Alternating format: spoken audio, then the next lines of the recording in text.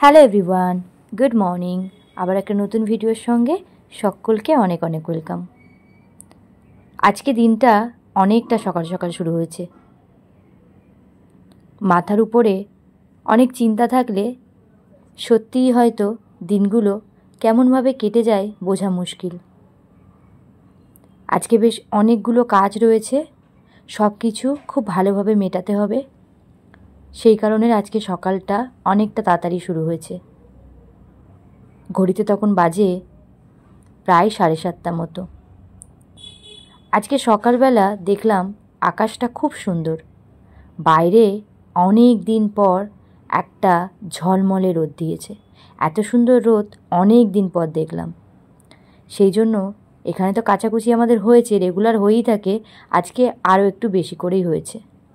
আজকে রান্নাবান্নার দিকে আমি চলে এসেছিলাম। পিসিমণি যেহেতু কাচাকুচি করছে, সেই জন্য ভাবলাম কাচাকুচি করে এসে আবার রান্না বসাতে তো অনেকটা দেরি হয়ে যাবে, আমি এদিকে রান্নাবান্নাগুলো বসিয়ে দিই। এখানে মাছ দিয়ে, বড়ি দিয়ে, আলু পেঁপে দিয়ে ঝোল করেছি। আর এদিকে সকালের টিফিনের জন্য ঝিঙে আলুটা বসানো হয়েছে, এদিকে একটু অল্প করে ভাত হয়েছে, আর এদিকে মাখা রয়েছে আটা, এটা দিয়ে হবে রুটি।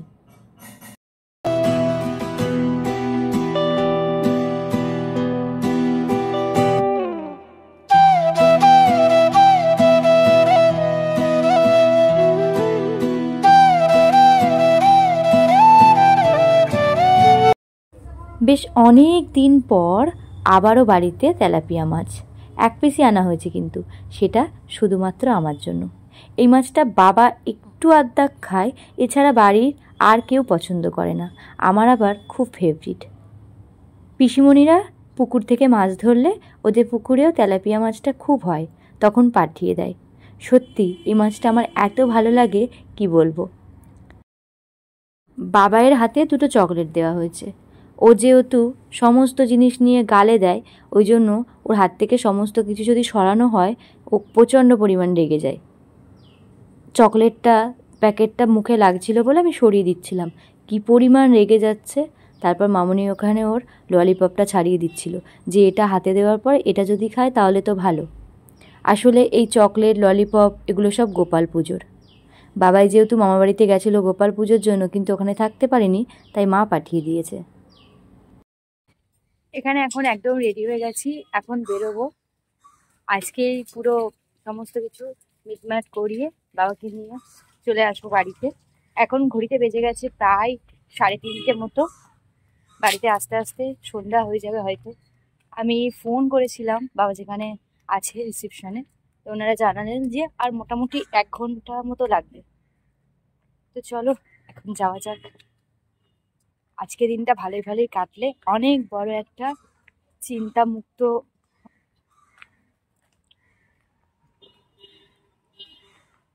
আজকে দিনটা একটু ভালোই ভালোই কাটলে সবটা একদম ঠিকঠাক হবে। আজকে বাইরে প্রচণ্ড রোদ। আজকের আকাশটা দেখে মনে হচ্ছে মায়ের আগমন খুব শিগগিরই। পুজো পুজো একটা ব্যাপার। এই ভাদ্র মাস জুড়ে আমরা প্রত্যেক বাঙালি ঘরের মানুষরা জামা প্যান্ট, রোদে দেওয়া, ঘর, ঝাড়াঝুড়ি এগুলো করি। মা আসছে না ঘর বাড়ি পরিষ্কার করতে হবে। এত সুন্দর রোদ না দিলে হয়। বেশ ভালো লাগছিল আজকে আকাশটা দেখে। তারপর বাবাকে নিয়ে চলে এসেছি এবং সমস্ত নার্সিংহোমের কাজ মিটেও গেছে।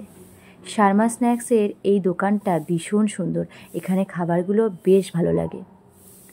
বাবার খুব চা খেতে ইচ্ছা করছিল। সেই জন্য আমরা এখানে চা খেতে এসেছিলাম। এছাড়াও এখানে বিভিন্ন রকমের খাবার দাবার পাওয়া যায়। সেগুলো সব মিষ্টি জাতীয় খাবার। যেন বাবাও খাবে না, আমিও খাব না। আমার একটু খিদেও পেয়েছিল। ভাবলাম কিছু খাই, কিন্তু একটা খাবারও পছন্দ হয়নি। এখানে এসে দেখলাম চাটা সবেমাত্র বসিয়েছে। এখনও কুড়ি মিনিট টাইম লাগবে হতে। সেই ফাঁকে গিয়ে আমি একটা ডিম টোস্ট খেয়ে আসলাম। খুব খিদে পেয়েছিল, এতক্ষণ ওয়েট করা আমার পক্ষে সম্ভব নয়। এখানে এসে দেখলাম, বাপরে বাপ এখনও চা হয়নি। আর এই চা খাওয়ার জন্য প্রায় পাঁচ সাতজন এখনও লাইন দিয়ে দাঁড়িয়ে আছে। আমি এখানে এক কাপ চা নিয়ে নিলাম। তারপর এটা খেয়ে দেখলাম সত্যিই ভালো বানিয়েছে। এর আগেও আমি এখানে অনেকবার এই চা খেয়েছি, কিন্তু আজকের চাটা যেন একটু বেশি সুন্দর। তারপর ওই পার দিয়ে রিক্সা নিয়ে বাড়ির দিকে রওনা দিয়েছিলাম। আর আমরা যে রিক্সাতেই উঠেছিলাম, সেই কাকুটা আমাদের চেনা জানা। এত গল্প করছিল বাবার সঙ্গে, বাপরে বাপ। তারপরে আজকে দেখলাম খুব মেঘ করেছে। সারাদিন এত রোদ দিয়েছে যে সন্ধ্যাবেলা বৃষ্টি না এলে আর উপায় নেই। মানুষ তাহলে পাগল হয়ে যাবে। সত্যি একটু বৃষ্টির খুব দরকার, কিন্তু মেঘটা দেখে মনে হচ্ছে বৃষ্টি হবে। বাড়িতে এসে ফ্রেশ হয়ে চলে এসেছি এখন রান্নাঘরে। পিসিমণি আজকে একটু আসতে লেট করেছে। সেই কারণে ভালোই হয়েছে। ফিরে একটু রেস্ট নিচ্ছিলাম রেস্ট হয়ে।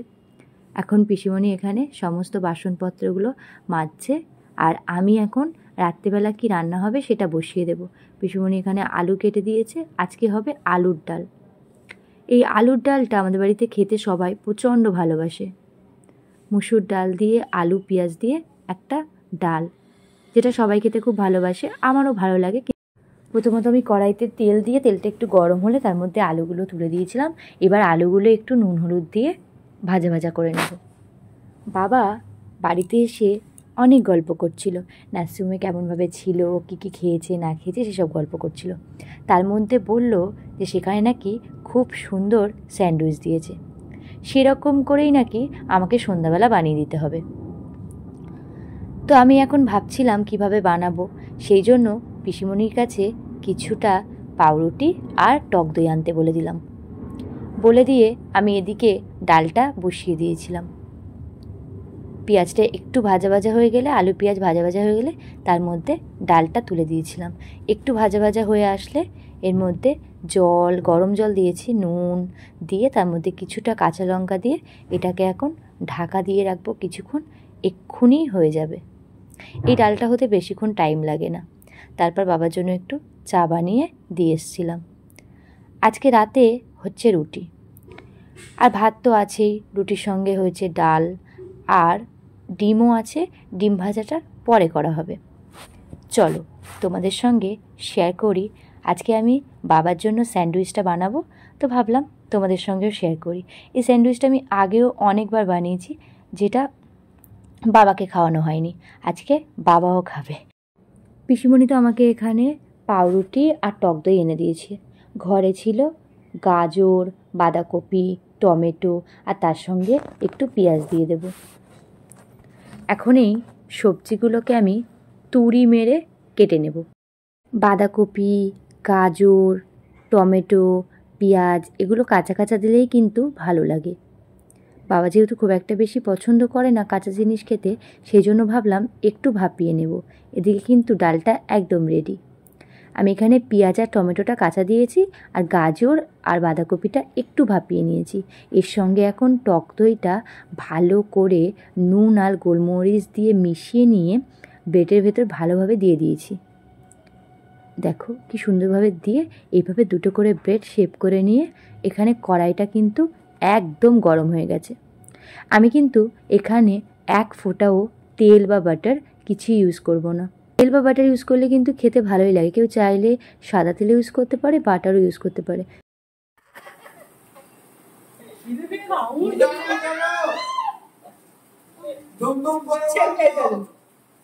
সে দেখুন পিসি।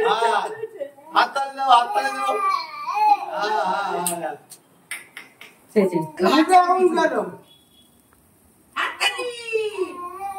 তাই তাই তাই মামা বাড়ি যায় মামা দুধ ভাত দেবে খেয়ে দিয়ে নিয়ে আসবে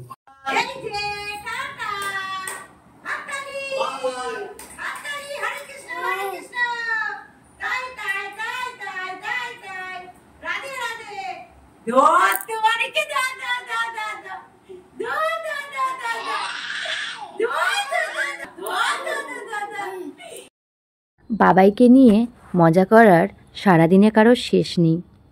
ওর হাসি দেখলেই আমরা পাগল হয়ে যাই। একটা কিছু বললে আর সেটা দিয়ে এমন করে হাসে, সত্যি সেগুলো আরও সুন্দর লাগে। তো মেজেটু ঘর দিয়ে কথা বলছিল আর ওর হাসিকে ধরে রাখে। তো তার মধ্যে বাবা একবার রান্নাঘরে এসেছিল, এসে বলল, ব্রেডগুলো ভালোভাবে সাজতে সেগুলোই করে নিলাম, করে এখানে অলমোস্ট সমস্তটা রেডি হয়ে গেছে। তো প্রথমে বাবাকে দিয়ে দেব, আর বাদ বাকিগুলো করে আমরা বাকিরা খাব। আমার এগুলো কাটতে প্রচণ্ড অসুবিধা হচ্ছিল কারণ এক হাতে ফোন ছিল। সেই জন্য বাকি একটা বাকি ছিল, সেটা মামুনি রান্নাঘরে এসেছিল, তো সেটা কেটে দিল। এখানে দেখো, এটা একদম রেডি চলো, এটা বাবাকে দিয়ে দিয়েছিলাম, আর পরে আবার আমরা ভাবলাম যে বানিয়ে খাব, কিন্তু বাবা তার থেকে তিনটে খেয়েছিল, তিনটে দিয়ে দিয়েছিল। তো সেখান থেকেই আমি একটা নিয়ে নিয়েছি, নিয়ে এখন চা, তাই এখানে চা আর একটা ব্রেড নিয়েছিলাম কিন্তু বেশ সুন্দর হয়েছিল দেখলাম।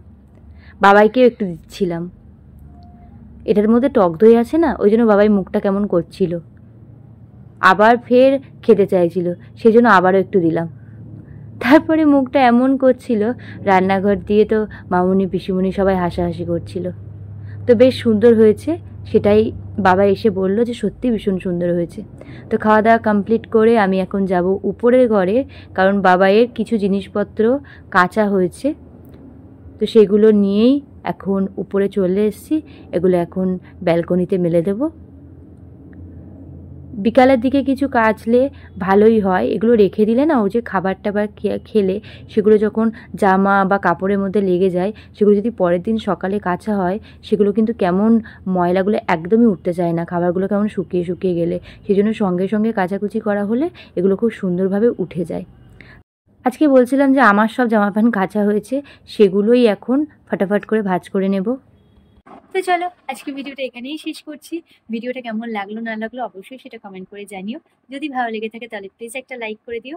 দেখা হবে তোমাদের সঙ্গে নিত্য নতুন, আবার অন্য অন্য ভিডিওতে। আজকের মতো, tata and good night everyone bye